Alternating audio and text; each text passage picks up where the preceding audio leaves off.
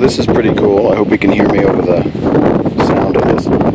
This is one of the plaques that they have here at the lookouts. And what it says here, this lookout is to show some lava cliffs. It's called lava cliffs. It's uh, from an explosion 28 million years ago. So those cliffs are made out of